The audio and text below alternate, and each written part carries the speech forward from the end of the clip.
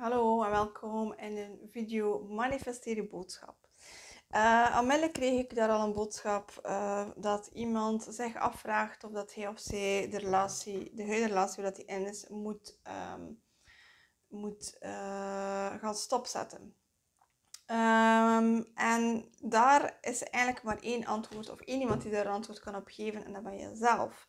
Het feit dat je het al, jezelf al afvraagt, is vaak ook een teken dat er iets meer aan de hand is. En dat de relatie waarop dat die nu uh, gebeurt of loopt eigenlijk niet voor je hoogste goed is. Of toch niet in de vorm of de manier waarop.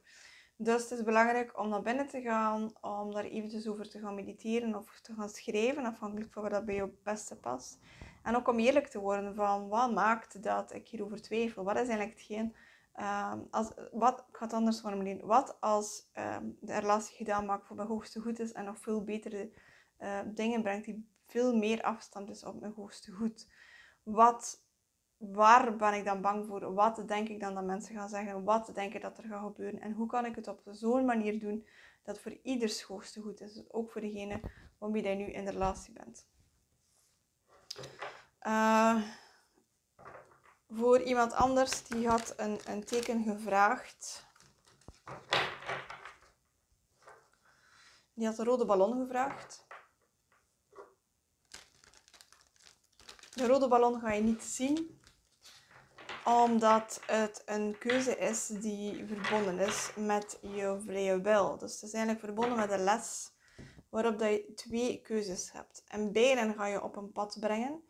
En het is aan jou om nu de keuze te maken, om dus om eigenlijk je gedachten te gaan sorteren, zodanig dat je die maakt die afgestemd is op jouw pure naakte ziel. Vandaar dat hij daarmee ook uh, één uh, borst toont. Ik weet niet of dat... Uh, YouTube daar iets van maken. Ik ga ervan, ik ga ervan uit van iets. Oké, wat is er nog die we mogen meegeven en zeggen? Laat alles tot jou komen. Dat is voor iemand um, met de letter S in zijn naam. Of als het over een relatie gaat, met de letter S in de naam.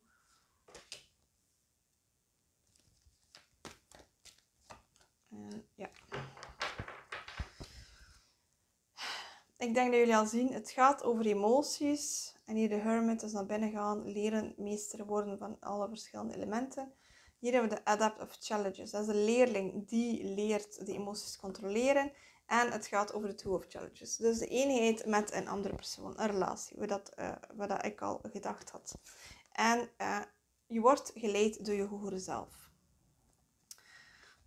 Oké, en de starseed is ondersteboven. Uh, het is belangrijk dat je jouw uh, ware afkomst herkent. Dus dat je herkent dat jij ook die leiding in je hebt. Dat je die verbinding, zoals dat hier ook ziet, die uh, persoon, die draagt niet alleen... Wacht, ik moet zien je het goed kan zien. Waar is het hier? Ja. Dus die draagt niet alleen het teken van de godin, dus met die twee halve maanden en dan een volle maan. Je hebt hier ook de maan verbonden met uh, het water, die ook het teken heeft, weer, weer verbonden is met emoties en met naar binnen gaan. Uh, je hebt ook die weerspiegeling hier, dus de weerspiegeling van het, uh, een balans of een disbalans in, in iemand anders. En dan hier die rollen. Je ziel weet, je hogere zelf weet wat hetgeen is dat je hier komt leren, wat je komt doen. Dus het is aan jou om te leren, je emoties, om er niet meer door overweldigd te worden, zoals dat hier deze zwemmer. En vaak is dat ook wel mooi om te zien dat het eigenlijk een mannelijke persoon of figuur is. Want vaak zijn die, diegenen die veel meer teruggrijpen naar een mannelijke energie, die altijd overweldigd worden door hun emoties. Uh, en dat is ook weer het stuk waar we dan die eenheid in brengen. Niet alleen eenheid in een connectie, maar ook eenheid in jezelf. Dus wat je nu doorheen gaat, of de, obstakels die je nu uh, meemaakt, is omdat je zou leren echt die meester te worden van jouw emoties om te, ze te leren gebruiken. En je ziet er ook die, weer die weerspiegeling, ook hier van die ogen weer in dat water. Dat je het hogere leert kanaliseren in het lagere. Dat je leert uh, dat niet alles wat je voelt, niet alle uh, emoties die je voelt, zijn een teken dat dit de waarheid is. Integendeel. Dat is net hetgeen wat hij moet overleren als, zoals deze uh, oudere man hier, die, die wijze. Het gaat erover dat je alle elementen van het leven, alle elementen om uh, te incarneren als een energie hier in een fysiek lichaam, dat je die leert gaan gebruiken. En daarom zie je ook al de, de, de elementen, water, aarde, licht, vuur en ziel als etherische. Uh, hier nog eens apart.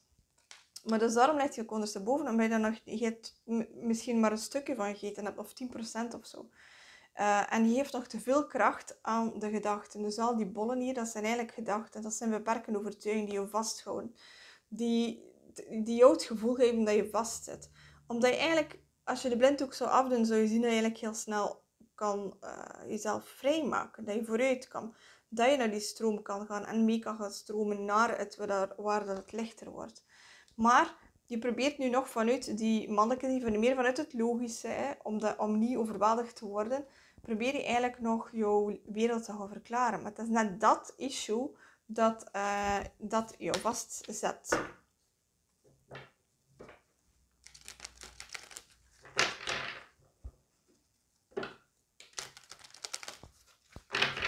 Wat hebben we nog als boodschap? Two of Pentacles. Wanneer die de video van gisteren ook gezien hebben, die gaan zien dat dat ook daar uh, naar boven gekomen is. Dat ook logisch is, want het heeft ook een beetje hetzelfde thema te maken. Dus wat, uh, hoe kom je los van de matrix? Hoe bevrijd je jezelf? Ja, kijk, en weer ook weer die twee of bekers hetzelfde dat we hier hebben en de Chariot, de succeskaart. Dus eenheid ligt in je kaart. En als je zorgen maakt, uh, misschien ben je aan het twijfelen tussen twee personen. Maar ook daarin is belangrijk dat je leert naar binnen te gaan. Dat je leert gaan kijken van oké, ehm, zeker omdat ik, zie hier ook die uh, staf uh, met de leeuw. Dus waarschijnlijk loop je ook op het pad van een tweelingziel. Of uh, het tweelingvlampad, dat kan ook. Um, en is het belangrijk dat je leert onderscheiden van wat is een soulmate, hoe voelt een soulmate aan, want ook daar zijn de verschillende frequenties in, en hoe voelt mijn um, aan. Kijk, ik zie ook hier weer de six van bekers. Um, dus het is belangrijk dat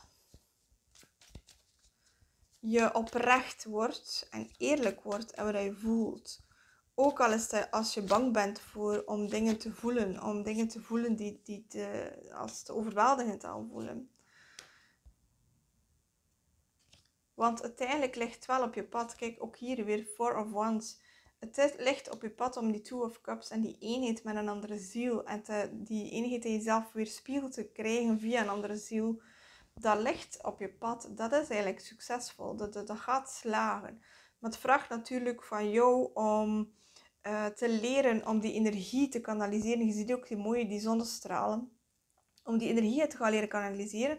En om eigenlijk jouw gedachten gewoon uh, uit te sluiten. Om een meester te worden. En om al die mind chunk, die mind, uh, die mindfuck als ik het zo mag zeggen. Om die gewoon te elimineren en te gaan vervangen door positievere gedachten, zodanig dat je kan tot die eenheid komen. Want als jij die eenheid in jezelf bereikt hebt, en dan kom je iemand anders tegen die die eenheid in zichzelf ook bereikt heeft, dan ga je zien dat er een wisselwerking gebeurt tussen beide vrouwelijke energieën, dus in elke persoon, maar ook met de mannelijke energieën. En zolang dat er schaduwen zijn in één van jouw energieën, of bij de andere persoon, dan nog gaat er constant uh, die schaduwen gespiegeld worden, totdat je uiteindelijk tot die pure eenheid kan komen. Uh, of tenminste tot het punt komt dat je kan samen zijn zonder dat je voortdurend getriggerd bent. En dus dat net maakt dat het super belangrijk is om die gedachten onder controle te krijgen. En dus om niet meer vanuit te gaan van ja, het is weer een verloren zaak en ik ben uh, um, bijvoorbeeld rond ghosting is dat vaak zo. Maar dat je dus leert de signalen op een goede manier gaat gaan leren. Dat is ook de Hermit kaart. Dus dat je op die goede manier eigenlijk die zaken gaat gaan uh, interpreteren. Wacht, ik ga even mijn kaarten, want ik heb ze weer in de grond gegooid. Ai, toch. En wat krijgen we? De, de 7 van munten en de 10 van uh, munten, maar omgekeerd. Dus je ziet, hoe meer hij dat gaat gaan doen, hoe meer hij naar binnen gaat gaan, um, hoe beter dat je gaat de, de bewijzen gaat krijgen van dat het werkt. Want de andere ziel, je spiegelziel, die spiegelt alles terug. En dan uiteindelijk is dat ook het punt waarop dat je gaat leren om...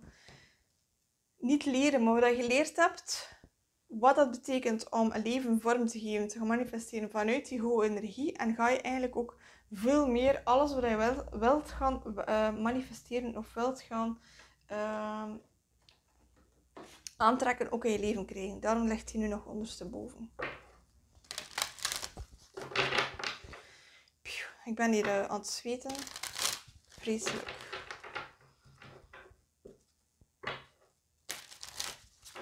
Heb ook natuurlijk alles toegedaan om te kunnen filmen, want anders...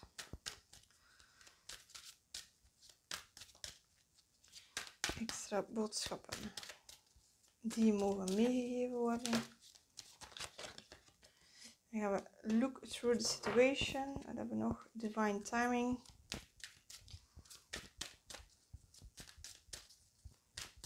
Ja, ik denk dat deze reading verder gaat op de eerste vraag dat ik gekregen van um, mag je, uh, is, moet ik weggaan of moet ik niet weggaan? Kijk, ga naar binnen. En in tijd gaat alles ook al duidelijk worden. Als, als je bijvoorbeeld de keuze zou gemaakt hebben om, zoals hij zegt, te blijven, maar er verandert niets aan de situatie, dan ga je wel voelen dat uh, op een bepaald moment gaat alles in je systeem, in je lichaam, je, je, je, je, je leven tonen van oké, dit is eigenlijk nu, uh, deze relatie is, heeft eigenlijk zin het gehad en mag uh, afgerond worden. Maar hier zie ik dat er nog een aantal lessen zijn. Dus er zijn nog een aantal, zij plukt hier nog een aantal bloemen. Er zijn nog een aantal dingen te leren in deze situatie. Die te maken hebben met de onderste chakras. Je ziet ook die rode rok die ook verbonden is met de onderste twee chakras. Dus er is iets dat je daar nog te leren hebt. En meer nog, het gaat ook over het communiceren. Dus het communiceren van wie dat je bent, wat dat de noden zijn, wat dat je behoeften zijn, maar ook vanuit je passie. Wat is je passie?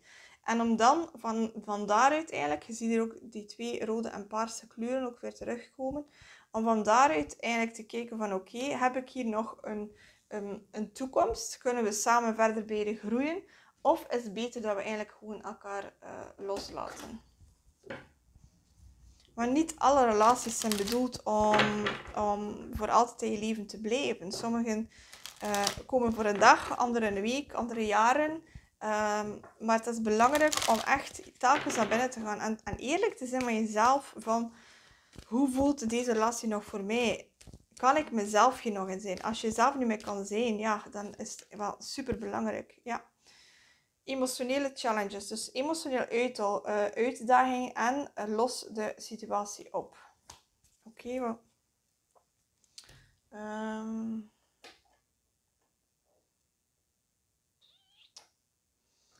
wat maar eventjes aan het kijken welke kaart nou, op welke manier kunnen we advies geven om de situatie op te lossen je eigen waarheid spreken sowieso, maar dat, dat in eerste instantie is dat naar jezelf toe. En dan in tweede instantie naar de, um, kijk, ook weer, luister naar je intuïtie. De boodschappen uit het universum worden op perfecte wijze door je lichaam ontvangen. Bijvoorbeeld een hele goede, zeker in romantische relaties, is um, de manier waarop je nog intiem bent. Um, als er geen intimiteit meer is, als er geen seksualiteit meer is, of het is een verplicht nummertje, stel jezelf dan eigenlijk de vraag van wat maakt dat mijn lichaam aangeeft dat, dat ik eigenlijk ook fysiek niet meer met die persoon wil verbinden? Want vaak ligt daar een onderliggende reden, emotionele redenen aan. Uh, is eigenlijk je lichaam die toont van dit is niet meer goed voor mij. Hier ook weer dat paarse, dat rode, uh, rode paarse en blauwe. Dus heel je communicatie, spreek je waarheid. Hè. Breng jezelf tot uitdrukking en schud je spirituele zintuigen wakker door de magische krachten van muziek en dans. Wellicht dat je ook boodschappen gaat ontvangen via muziek. Um, en ik zeg ook, vraag ook altijd aan jezelf. Kijk, ook basischakra wordt ook weer bevestigd. Kies alleen voor positieve gedachten om je huis, je carrière, je financiële toestand te beschrijven, want je woorden zullen het uiteindelijk effect bepalen. En zie hoe dat, welke bloemen, of hoe dat hier ook weer terugkomt. En dat zijn twee verschillende uh, kaartendekken. Dat is toch wel mooi, hè? Oké, nog één. Dan hebben we kristallen. De energie van kristallen zal je ondersteunen en helpen in je huidige situatie. En ook weer diezelfde kleur van healing. Ehm, als je nog niet weet of nog nooit hebt samengewerkt met universele vlammen, kijk dan eens hier op mijn YouTube kanaal. Ehm, daar is er een video die werkt met violette vlam. Ik denk uh, dat dat een van de eerste is dat ik heb opgenomen uh, in die playlist. Uh, met de violette, de groene en de paarse of nog een andere kleur, ik weet dat niet meer. Ehm, die zou jou op dit moment eigenlijk echt wel behulpzaam zijn. Plus ook de transmissie met de blauwe vlam. Dus heel je gedachten met de blauwe vlam, die kan je doen. Maar je gedachten zijn ook verbonden met jouw keelchakra en natuurlijk met uh, spreken van hem. Wanneer het op liefde aankomt, bestaat te laat niet. Durven anders te zijn is de weg naar overvloed. Liefde is bedoeld om ervaren te worden met het hart, niet uitlegd met het logische verstand. Dus wat dat ook wil zeggen en wat ik ook uh, hoor is van... Um, ga er niet vanuit dat omdat je samen bent met iemand, dat je daarom moet altijd samen blijven. Want dat is niet zo. Bij sommigen uh, is zelfs de les om elkaar los te laten in liefde en in, in vriendschap. Beweeg vlot mee in nieuwe uitdagingen en kijk wat het je brengt. Voel dat er nog uh, boodschappen zijn. Oké. Angst voor het leven is erger dan angst voor de dood. En dat is vooral ook uh, bedoeld van uh, maak keuzes, durf moedige keuzes maken. En ga er ook vanuit dat het altijd jou op een beter pad, een hoger pad gaat brengen. Liefde is de sleutel tot je succes. Ontwendel je hart om te ontvangen. Maar dan gaat het niet over liefde in en met een ander, maar vooral liefde naar jezelf, liefde voor de keuzes die je maakt. Op avontuur gaan, om wat ook het ervaren en nemen van risico's, dus ook in relaties. En als je iemand lief hebt, wees dan niet zuinig. Dus, en altijd altijd, altijd hetzelfde. Begin eerst met jezelf. Word, um, uh, word eerlijk met jezelf. Zuiver de energetische kanaal van het lichaam. Als je die transmissies beluistert, dan ga je dat sowieso ook automatisch gaan doen. Ik weet, ik vertrouw en ik voel wat de volgende stap is. Als dat niet zo is, vraag aan je team, toon mij wat de volgende stap is. Zuiver je mentale, emotionele en energetische lichaam. Weer hetzelfde.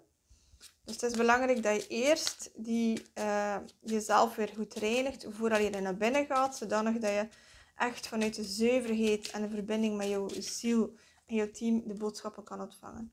Optimal en, en optimaliseer en versterk je energetische bescherming. Ja, ik voel ook heel hard dat het ook te maken heeft met de relatie, uh, dat die op jou op een of andere manier klein houdt, tegenhoudt, uitput. Geef toestemming om nieuwe lichtcodes te activeren. Dus in dit geval, als je dat onmiddellijk doet, zeg van oké, ik geef toestemming om nieuwe lichtcodes te activeren, dan is dat bij deze eh, ook gebeurd. Gebruik je energiewijze voor je hoogste goed. Anker het diamantenlicht en zet je essentie neer in het leven. Ja. En nog een laatste. Ik ben overal en altijd beschermd hetgeen wat ik heel hard voel, voor degene voor wie dat deze boodschap of deze reading was, is dat het punt waar je nu staat in de relatie, waar je vragen over stelt, of dat nu vriendschappelijk of romantisch is, gaat het erover dat je heel dicht bij jezelf blijft, dat je leert je grenzen duidelijk aanvoelen, duidelijk herkennen, maar ook aangeven naar de anderen toe en dat je altijd vanuit, communicatie, uh, vanuit liefde en licht gaat communiceren. Dus uh, niet vanuit je wonden. Als dat niet lukt, dan is het veel beter om gewoon nog eventjes afstand te houden en naar binnen te gaan, in plaats van all the way te gaan en um, nog meer dingen kapot te maken. Zo, en uh, ik voel dat we nog één boodschap mogen meegeven van het Drakenrijk. Oké.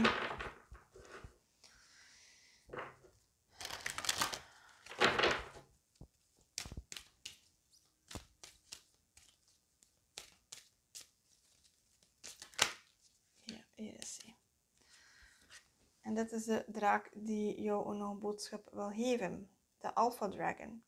Harnesses the divine masculine power of creation, destroy the old, visualize your dream, help to manifest a new world. Met andere woorden, jij hebt de kracht in jou. met je mannelijke energie, met de visie die je in je hebt, het gevoel dat je krijgt, het beeld dat je hebt, de droom dat je al ziet. Jij hebt het in jou om die keuzes te maken die je dichter brengen bij jouw droom. En om op die manier eigenlijk een nieuwe wereld te gaan uh, creëren.